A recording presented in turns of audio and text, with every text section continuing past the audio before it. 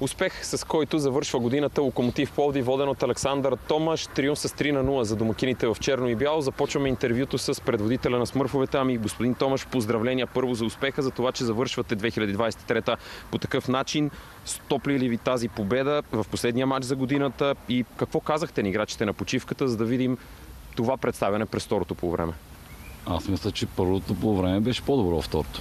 Най-вече като резултатност. Просто успяхме да реализираме ситуациите, които ги имахме през първото. Вижте, нищо ново за нашия отбор.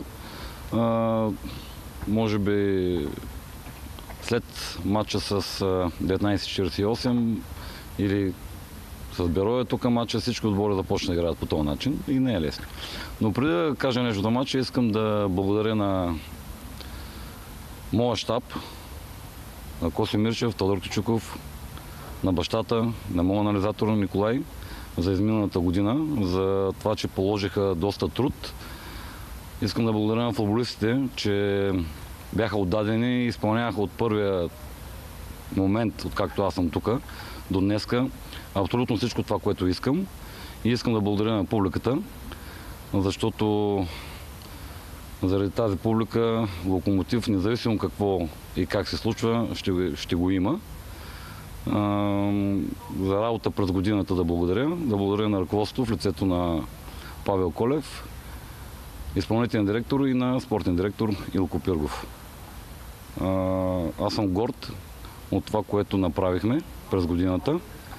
Да, осъзнавам, че сами дигнахме много летвата.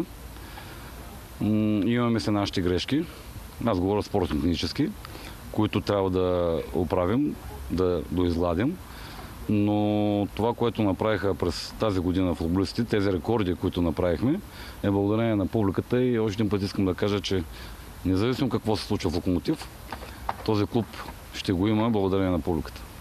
Съдейки по начина, по който говорите, съдейки по това, че вероятно за първ път ви виждаме да сте седнал в хода на почти цял един двубой, съдейки по начина, по който посрещахте заменените футболисти, сякаш се сбогувате с тях какво е вашето бъдеще? Тъй като говорите така, сякаш ще казвате чао с локомотив Пловдив. Сбогуване на годината. Годината свърша, сега ще пожелая на всички весели празници и ще видим какво ще се случи от новата година. Ще очакваме повече. На фона на всички тези рекорди, тази серия, в която влязохте в днешната среща, само един успех в последните 8 мача. Вашата лична равносметка, къде се щупиха нещата и изпреварили отбора, заедно с феновете, клуба Локомотив Плодив и това ли трябва да бъде повечето през новата година? Феновете се опитахме да ги достигнем. Отбора се опита да ги достигне. А, докъде успяхме, къде не. Имахме много хубави моменти. А, пак казвам, че аз осъзнавам, че ние сами динахме летвата, сами си поставяхме а, мечти и си ги следвахме. А, дойде разочарование голямо разочарование има, когато си поставиш високи цели. А, ние си ги поставихме вътре в съблекаването с футболистите. Аз мога да им благодаря за това, което направиха през годината. Можехме и по-добре. Надявам се през новата година нещата да бъдат много по-добре. Хоркаш, Джовани, се футболисти, за които се спекулира, че ще първа през зимата има вероятност да напуснат. Има ли някакво развитие в тази тема? Няма никаква информация. Този въпрос не е към мен. И ако обобщим ситуацията в течение на изминалите вече почти изцяло 12 месеца, кои са двете неща, за които сте най-щастлив през 2023 с Локомотив Пловдив и за които пък неминуемо най-много съжалявате? А, чисто спортно-технически мисля, че всеки един отбор в България показва уважение към Локомотив по начина по който играеше. Особено след лятото. Ние променихме изцяло Миналата зима се случиха неща в клуба, които пак не е имал работа да коментирам. Започнахме наново през зимната подготовка, променихме стила и начин на игра за втори път. И вече наистина през лятото а, така успяхме да се наслаждаваме на футбола, който искаме да играем. В началото отборите не успяваха да ни разгадаят, но след това естествено нормално да, да, да се опитат да ни противодействат по някакъв начин. За мен е гордост, че отбори като Цеска, като Лудогорец а, и като Леска ни показаха уважение с начина по който играеха срещу нас. А, мисля, че имаше много малко мачове, в които ние не сме били водещи отбор. неминуемо е, когато си водещи отбор и притежаваш топката да, да я загубиш някъде, само че в повечето мачове ние губихме на 70 метра от нашата врата и допускахме контратаки.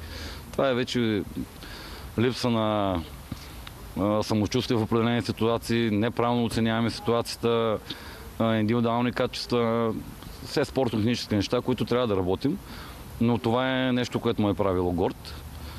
Ние сме разпознаваеми. Цяла България, когато погледнат локомотив, знаят как ще играе локомотив. Нещо, което не съм доволен, че може би надхвърлихме желанието на амбицията ни беше по-голямо от възможности, може би в определени ситуации. Да, аз оценявам и моята грешка, че в някои матчове може би трябваше да играя само за резултат. Но аз пак винаги съм казал, че по този начин аз виждам как мога да изградя индивидуални качества на футболисти. Като Паскалев, като Калоян, като Ефе. Динко израсна при нас много, един Джовани израсна при нас много, Бабакар. Всички, всички футболисти израснаха и аз само мога да им бъда благодарен. И последен въпрос. Накарахте голяма част от феновете на Локомотив Пловдив, тези в трибуна Бесика, да мечтаят в началото на сезона, след множество рекорди, които записахте. Та на тези хора какво бихте им казал? Могат ли да бъдат спокойни, че през месец февруари Александър Тома ще е човека, който ще изведе Локомотив Пловдив за първия пролетен кръг? Бих се поклонил на тази, тази публика. Винаги съм му казал, пак ще го повторя. Тази публика не ги интересува кой е треньорът им, кой е собственикът им и кои са футболистите имената. Тя ги интересува отборът. И те в хубаво и в лошо са зад отбора. Това е уникално. А вашето желание какво е? Аз имам договор и аз го изпълнявам.